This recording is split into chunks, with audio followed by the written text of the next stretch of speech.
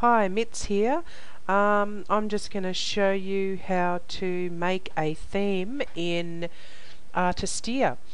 Okay, now the first thing when we open up the program is that this comes up and um, you have to choose which one you want. So we want WordPress, okay, you might want something else, you never know, but I'm going to click on WordPress. Um, here's some things that I have been doing before so you can always go back to here and click on something that you've been doing. So at this time I'm just going to click on WordPress. Now it comes up with um, something already and um, you can just press on suggest design and it'll change like this. Um, now these graphics here you can only use them on your personal websites. So um, you need to um, either remove them or put your own graphics there. Um, yeah, you could probably get away with using a computer one or something and changing it a little bit. I'll just show you. Uh, where are the pictures? Oh, here they are here. So they've got all these pictures here. Um, you can, you know, well, basically, you're not allowed to sell them or anything like that. They come with this. Okay, so um, it'd be better if you didn't use them, even though they're great and they're very handy. Um, it'd be better if they weren't used. But um, we need to show people how to change the header anyway because they're going to want to put their own in there. So that's one thing about it. Alright, let's just say no photo for that. um, what else have we got?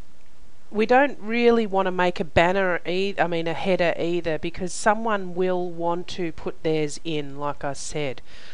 Now, um, what I want to do is try and make blogs, like, um, you know, WordPress themes that look like um, those blogger ones and stuff. um, the same kind of colours like black, grey, and all that, you know, and red and stuff like that. now, the other thing is that there's a few settings that we have to do. So, in here, under export, we'll go to export options. Okay, so we go through the options here, okay? Author's name, right? We're going to put WordPress, website, builder. Now make sure, that's our thing there, make sure it has um, the correct spelling. And then we have to have so basically you're putting a link back to your website. So I'll put word press dash website builder.com now we need to check it and make sure it's right Okay, that looks okay. And template version, you can put anything you like in there. Um, take this one out and put um, WordPress website theme. Okay, and everything's fine there. So let's go on to the next section. WordPress, show the home item. Okay, yes, that's fine you can change these things, but home item caption is home. Um, now the horizon horizontal menu source, you can choose um, categories or pages. Now I put pages up there. This one here, the vertical uh, menu, I usually take out because um, you don't really need it. Right, so watermark, no watermark, okay, because we're giving these away for free or well, whatever. Footnote, it says include a backlink to the author and include a link to the CMS or content management system. So we're going to untick that. Okay?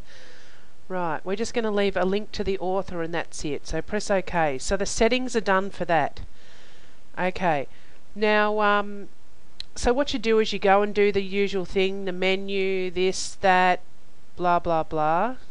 Now to remove that um, side menu, We'll see you've got all these choices here of columns and stuff like that. Now, and you can do all the sorts of things here. Now let's go to the menu section and then go to layout. Okay. Um, we're looking for that side menu thing, aren't we? No, that's the wrong menu. Okay, vertical menu we're looking for. This is the one. I want to take it out. So we go to vertical men menu and then no. Okay, and it's going to take it out. So it's taken the vertical men menu out. Right.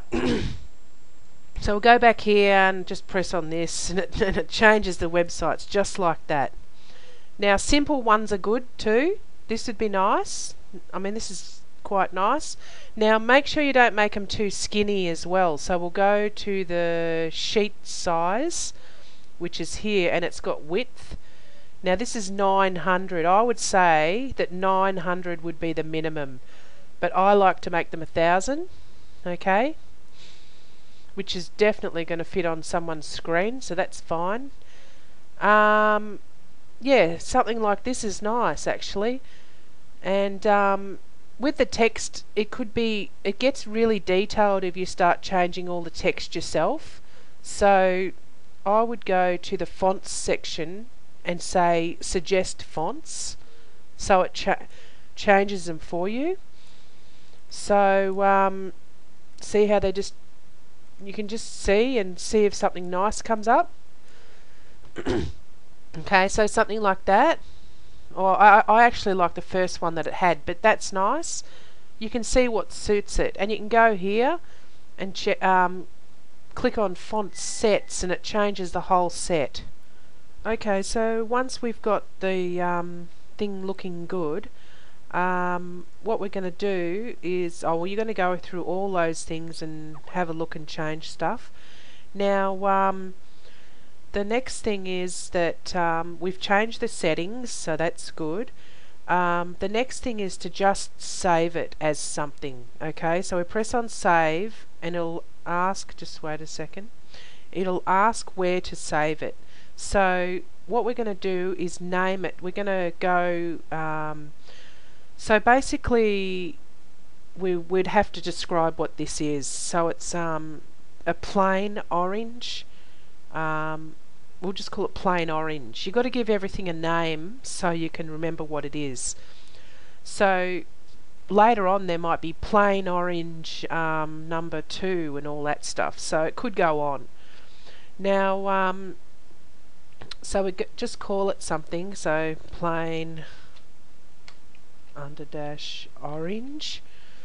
and there we go. Now, when you're doing it, make sure you um, name it correctly and um, also spell it correct correctly because when they install it, they're going to see that. Okay. So press save. So now we have saved a copy of it that we can edit any time we like. And now we're going to export it. Okay. Whoop, wait a minute all you have to do is press on export just up here export and it'll come up and say name of it and it's plain orange. Um, path where do you want to save it? Yep that's fine.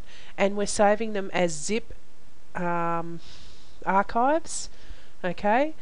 Um, I mean if you wanted to edit it later well we can always open it up and unzip it or whatever so what we're going to do is just press on export and that is it. It's ready, right, to upload into WordPress and use. So that's how easy it is. Um, that's all we have to do. So what we want to do is make some good ones. so the best way to find a good one is to go around the internet and get some good ideas. So I'm sure you've been to some good websites uh, where are we? Um, like I like this one. Do you know what I mean? Simple, right? Okay. Um, see how they've got the links, how big they are? I like that. I don't know whether you can do that or not. I'll go down. Um, he's got the date big thing like that. I don't know about that, but um, that's a plug-in, so we put that in. This here is um, oh, at the it's a foot it's the header of the um, article. That's what it's called in the settings. Um, this is Tyrone Shum's um, website. I really like it. It's nice.